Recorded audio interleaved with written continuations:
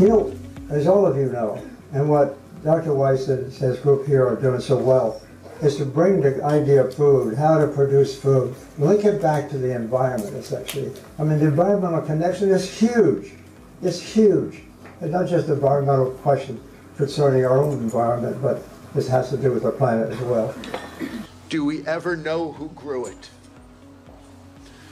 Do we ever know how it was grown? Do we know where it came from? Do we know how it got to the display table? Usually not.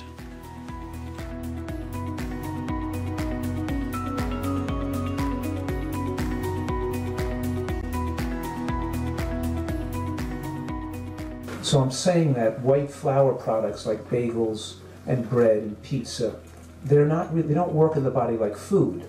They work in the body like a drug. The animal protein biochemically has properties that increase cancer across the board. If you care about survival on this planet, there should be uh, sufficient reason for everyone to evolve to a whole food plant-based diet.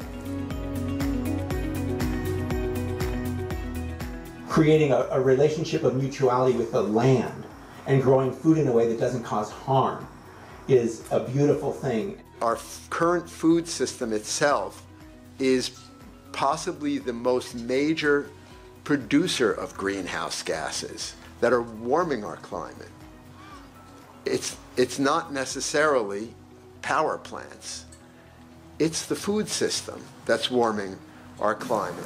The three major environmental problems are selfishness, greed, and apathy. And to solve those, you need a spiritual and cultural transformation.